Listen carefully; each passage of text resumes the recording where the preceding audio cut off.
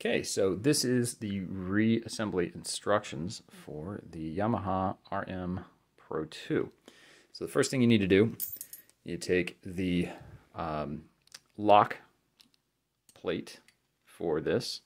Uh, this is going to be for the, um, the lock screws for the intonation.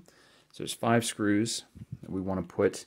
You're going to make sure that when this is facing up, sorry, uh, when this is facing up, this is going to be where the trem actually goes in, and it's going to be facing in this direction, where this is actually facing down. So this will be the way that it's going to be placed. You don't want this to be facing up like this because it's going to bang into the other piece. So you want this actually facing downwards.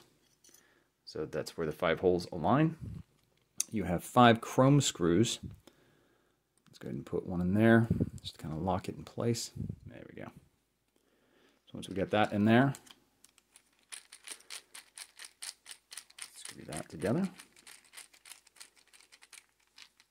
then we'll just line up the rest of the screws right here. Very easy to do. I'm just going to start with the outer sides. Okay, so now that that is assembled, that's the first part. You have to put these screws in first because when you put this plate on there, there's going to be no access point for you to get under because it actually covers that. So the next thing is to do is to put these other six little mini screws, little things about this size. Those are going to be the plate screws. So once we've got those two, all the other ones are going to be perfectly lined up. So you just go ahead and put the rest of them in. Okay, uh, drop two screws, classic. All right. Luckily this was easy to find, but this is why you get yourself, when you have carpet, get yourself a magnet because you can just grab them off the carpet even if you can't see them, even if they fall underneath your desk. And since this is a mechanical screwdriver with a little bit of magnetic, just go ahead and put them on the end of this and then put them in there. Ah, look at the solution. It's always something if you don't lose your mind. Yeah, put that screw on the tip of that. You beautiful thing, you. All right, so now that we got the essential parts put together, now we're going to go ahead and throw these guys in. And, uh, okay, so I already explained in another video, but basically make sure that you've got the thinner parts of the tremolo on the outside for the E's. It will just drop in just like yay. Then you will want to put in these, which are the Allen keys. They will keep that right here for the fine tuners.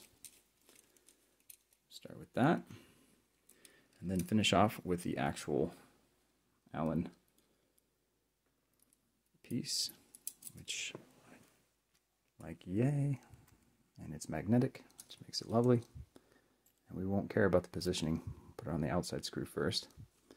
Careful not to uh, cross thread that. That's it. That's all you really need to do. Now, the last part is going to be these pieces. And then you take this with one of the washers, that there. Then we're going to throw that through this, that hole right there, and then screw it into this.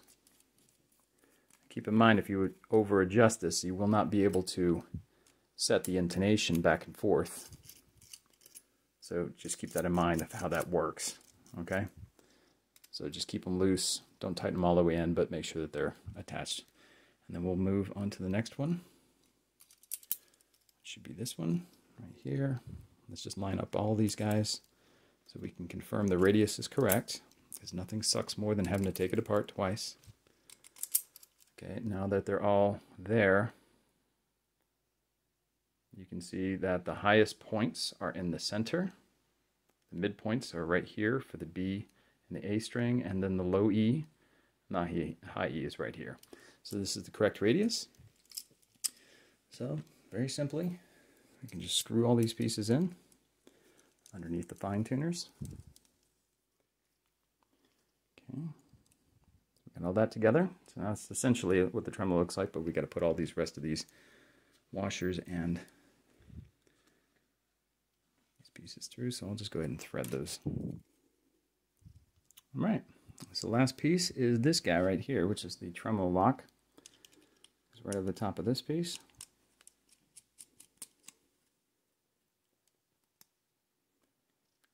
It's supposed to be that tight or not, but I think that's it. I think It's just supposed to hold down on that thing just to actually grip the, the trem arm. But that is the completion of this particular trem, which is crazy looking.